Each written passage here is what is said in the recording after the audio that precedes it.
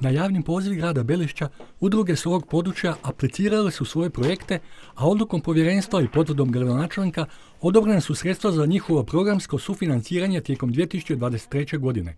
Grad Belišće izdvaja iz svog proračuna svake godine određena sredstva. Ove godine to je nešto malo manje od 28,5 tisuća eura za svoje udruge. Udruge su brojne, ima ih puno, javile su se na natječaj njih 38, 34 dobiva potporu. Grad određuje visine potpora, između ostalog i sukladno tome koja područja zapravo želimo poticati. Prema utvrđenim kriterijima, oko 9000 eura dobilo je devet projekata vezanih uz kulturu, od kojih će crkveno pivačko društvo Mir dobiti 4650 eura.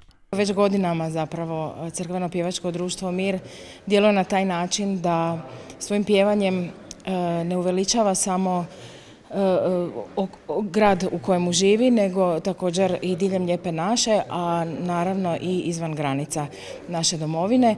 E, pa ćemo tako i novac koji smo dobili utrošiti na organizaciju upravo takvih događanja. Udruge proistekle iz domovinskog rata dobile su 8000 eura, a projekti vezani uz zdravlje i socijalnu humanitarnu zaštitu oko 6,5 tisuća eura. Za projekte posvećene djeci i mladima dodatno je odobreno više od 3000 eura, a zadovoljni mogu biti i umirovljenici. Svake godine se prijavljujemo za sufinanciranje projekata iz proračuna grada Belišća.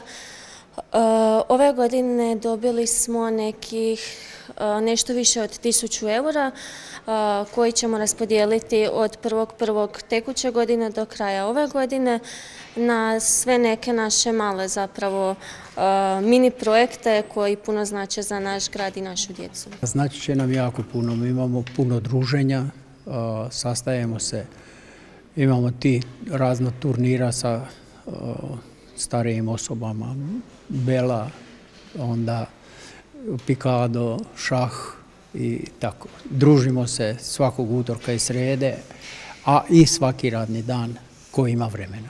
Nema sumnje kako će ovi dodatni financijski poticaj grada Belišća još više promovirati cijelu ovu zajednicu u domovini i inozemstvu.